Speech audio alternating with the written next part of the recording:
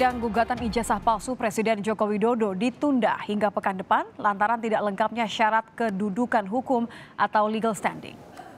Sidang perdana pembacaan gugatan ditunda hingga pekan depan lantaran tidak lengkapnya syarat kedudukan hukum oleh kuasa hukum tergugat yang hadir. Gugatan dugaan ijazah palsu Presiden Joko Widodo ini awalnya dilayangkan oleh Bambang Trimulyono.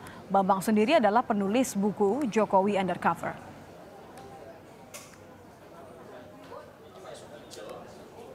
Sementara itu, teman sekolah Presiden Joko Widodo, Bambang Surojo, datang ke Pengadilan Negeri Jakarta Pusat.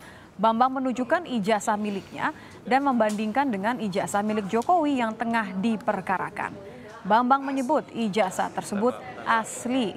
Sebelumnya, UGM telah memastikan ijazah sarjana S1 Jokowi adalah asli. Pertama yang bertanda tangan adalah Bapak Sukijo.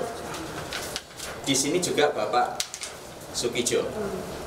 Kemudian yang kedua, di sini eh, tanggal diterbitkannya 10 Maret 1980. Di sini juga sama, 10 Maret 1980. Nomor berikutnya di sini 014 garis miring 603 di sini juga sama 014 garis miring 603 Fotonya Pak? Yang beda foto jelas. Bukan,